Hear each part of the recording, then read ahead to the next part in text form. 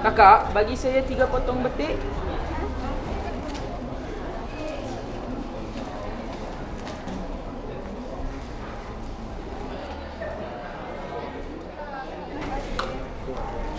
Terima kasih kakak. Tak jambu satu? Cepat.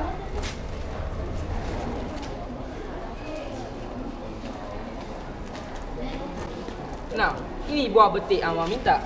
Terima kasih. Terima kasih.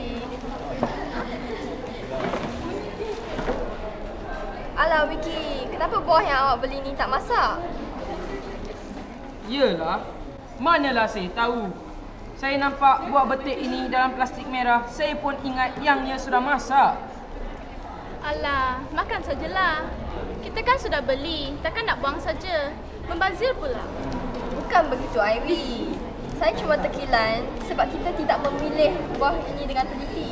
Kita cuma melihat dari plastik merah ini saja. Hmm, itulah sebabnya cikgu selalu berpesan agar kita sentiasa berhati-hati semasa membuat pemilihan agar kita tidak mudah terpedaya. Sudahlah tu. Jom kita balik. Masa rehat pun dah tamat.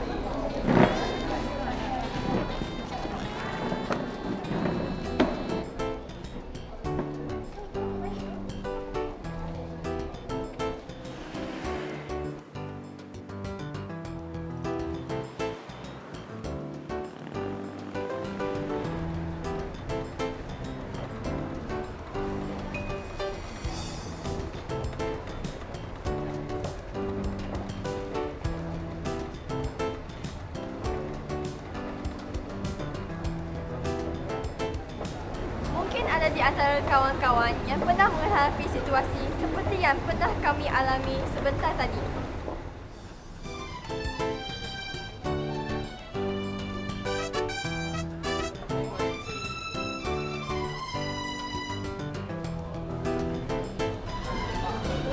Sebenarnya, untuk melariskan jualan mereka, peniaga biasanya menggunakan pelbagai teknik yang kadang-kala boleh mengelirukan kita sebagai pengguna.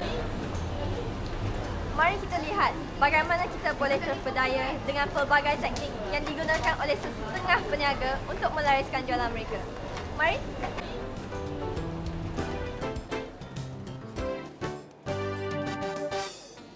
Kajian telah dijalankan oleh pasaraya-pasaraya ternama di dunia mendapati kebanyakan pelanggan mahukan sesuatu yang segar dari sesebuah pasaraya itu. Untuk tujuan itu, kebanyakan pasaraya akan memastikan barang yang mereka bekalkan adalah segar dan ianya hendaklah kelihatan segar. Untuk itu, mereka kadangkala menggunakan lampu yang berwarna hijau untuk menjadikan sayur yang dijual kelihatan amat segar.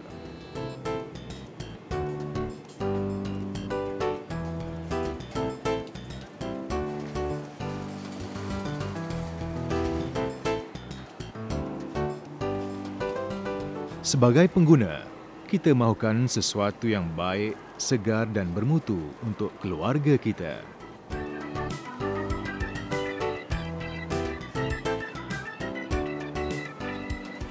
Oleh itu, kita perlulah memastikan setiap barangan yang dibeli terutamanya sayur-sayuran adalah segar dan sesuai dimakan.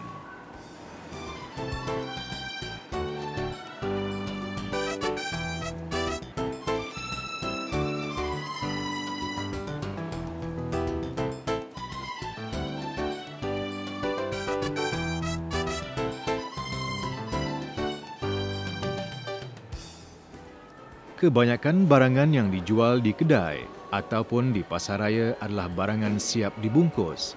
dan ini berbeza dengan imej kesegaran yang dipaparkan.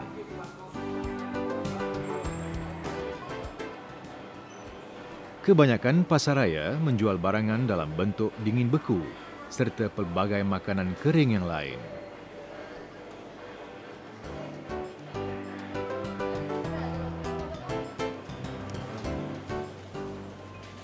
Begitu juga dengan barangan seperti daging atau ikan.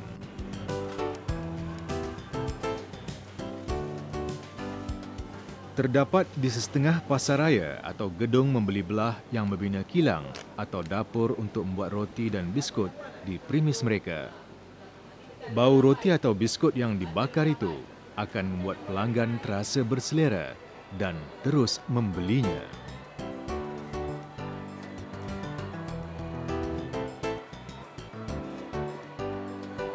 Sudah menjadi budaya hari ini, orang ramai lebih suka berbelanja di pasaraya berbanding di kedai runcit ataupun di pasar kecil. Ini kerana jika berbelanja di pasaraya, kita boleh memperolehi segala keperluan kita di bawah satu bumbung. Suasana di pasaraya juga amat selesa, nyaman dan bersih.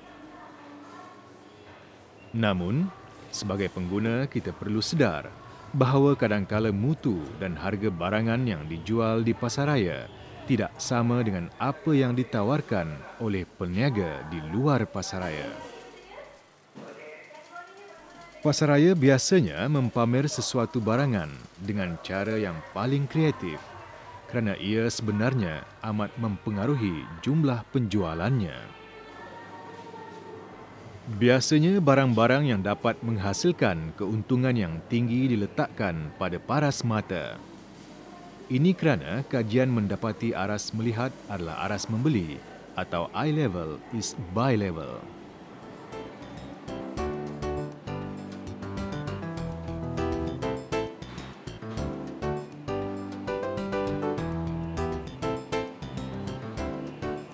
Barang-barang juga diletakkan di lorong-lorong dan laluan keluar bagi menarik minat dan perhatian pembeli.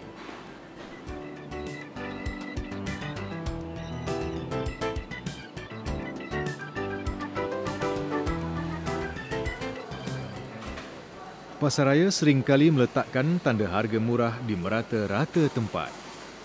Bagi membolehkan pelanggan melihat tanda jualan murah itu, mereka meletakkan barang-barang yang digemari di bahagian belakang kedai dengan harapan apabila pelanggan pergi mendapatkan barangan tersebut, mereka akan ternampak tawaran harga murah yang dipamerkan. Pengguna, terutamanya ketika melakukan pembelian makanan, biasanya mengutamakan perbelanjaan bagi barang-barang berasaskan individu. Peniaga mengambil kesempatan daripada keadaan ini dengan mencampurkan barang berharga tinggi dengan yang berharga rendah dengan tujuan untuk menarik pembeli. Barang yang digunakan untuk menarik perhatian dipanggil loss leaders. Lazimnya, barangan yang harganya diketahui umum digunakan bagi maksud tadi.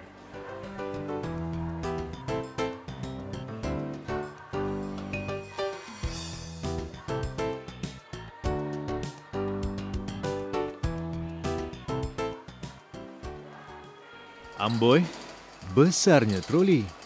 Banyak ke barang yang hendak dibeli. Troli besar disediakan untuk kemudahan pelanggan mengisi barang yang dibeli. Secara tidak langsung, troli besar menggalakkan lebih banyak pembelian walaupun kadangkala sesetengah dari barang yang kita beli tidak benar-benar diperlukan pada masa itu. Sesetengah gedung perniagaan mengeluarkan kad-kad keahlian untuk pengunjung mereka. Setiap pembelian diberikan mata ganjaran yang boleh ditukar dengan pelbagai hadiah. Lebih banyak mata ganjaran yang diperolehi, lebih bernilai hadiah ganjaran yang boleh dituntut. Kita kadang-kadang dihidangkan dengan muzik yang menarik sewaktu sedang membeli belah di setengah pasar raya. Selain untuk menghiburkan, muzik digunakan untuk melekakan pelanggan dan membuat pelanggan berada lebih lama di premis mereka. Sudah menjadi kebiasaan apabila terdapat barangan baru di pasaran, ianya akan dipromosikan oleh syarikat pengeluarnya. Mereka memberi peluang kepada pengguna untuk mencuba barangan keluaran mereka. Sebagai pengguna, janganlah kita cepat terpengaruh dengan promosi seperti ini lalu membeli tanpa memikirkan keperluannya.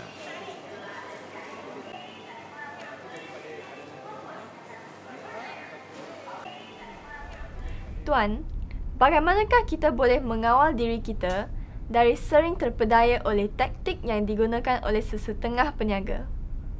Untuk mengawal diri kita dari terpengaruh dengan pelbagai iklan, tawaran dan taktik yang digunakan oleh sesetengah peniaga yang tidak bertanggungjawab, kita perlu memahami serta mengetahui sedikit panduan ketika membeli. Apakah pesanan tuan kepada para pengguna untuk menjadi pengguna yang berhemah? Pesanan kami dari Kementerian Perdagangan Dalam Negeri dan Haiwan Pengguna, jadikan diri anda pengguna yang berilmu dan bermaklumat serta membeli mengikut keperluan dan bukannya mengikut perasaan.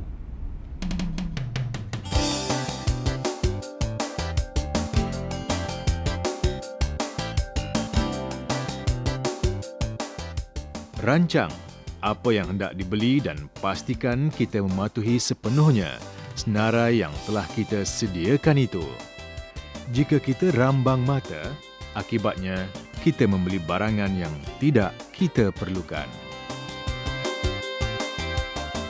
Jangan guna troli jika barang yang hendak dibeli tidak banyak. Cukuplah sekadar membawa bakul sahaja sewaktu kita berbelanja. Sesetengah pasaraya menyediakan tempat berehat yang tersedia dengan jualan makanan dan minuman.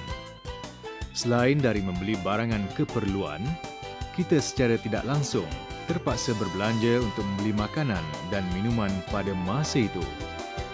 Oleh itu, janganlah pergi berbelanja sewaktu kita lapar.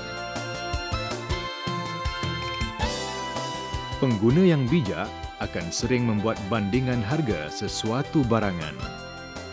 Ada kemungkinan kedai lain menawarkan harga yang lebih menarik dengan barangan yang lebih bermutu. Banyak membeli barangan tempatan boleh menjimatkan wang kita. Oleh itu, belilah barangan buatan Malaysia.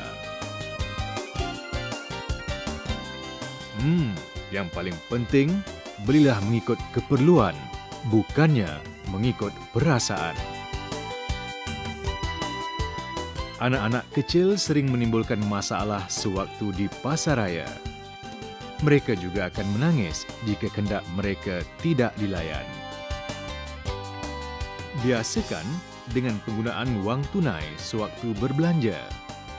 Kurangkan penggunaan kad kredit untuk menghadkan perbelanjaan. Pengguna yang kurang berhemah sering berbelanja melebihi kemampuan mereka sendiri. Pastikan kita diberikan risit selepas membuat bayaran. Pastikan harga yang dikenakan pada anda betul seperti yang tercatat pada barangan tersebut simpanlah risit tersebut dengan cermat. Risit pembelian amat berguna untuk kita membuat semakan, rujukan dan tuntutan jika perlu. Menggunakan kereta persendirian akan meningkatkan kos bayaran letak kereta dan petrol. Gunakanlah kenderaan awam yang lebih menjimatkan.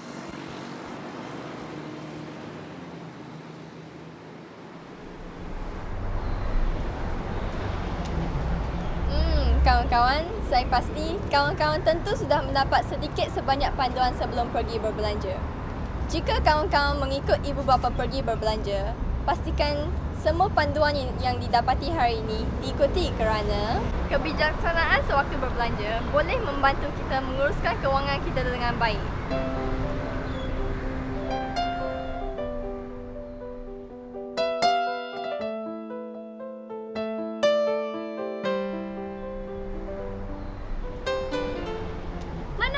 Risalah-risalah tentang kepenggunaan ni, Lendeng? Semua poster dan risalah-risalah ini saya perolehi dari Pejabat Kementerian Perdana Dalam Negeri dan Hal Ehwal Pengguna. Cikgu Sasniwati, guru penasihat kelab pengguna sekolah kita itu yang bawa saya ke sana. Baguslah tu Yuan Ling. Melalui bahan-bahan seperti ini, diharap kita tidak akan mudah terpedaya dengan teknik yang digunakan oleh sesetengah peniaga itu. Oh ya, selain dari poster dan risalah ini, ada juga buku, majalah dan komik yang saya dapati bersama. Ada saya letakkan di perpustakaan sekolah kita. Kalau macam tu, mari kita ke perpustakaan untuk melihat bahan bacaan yang ada di sana. Jom.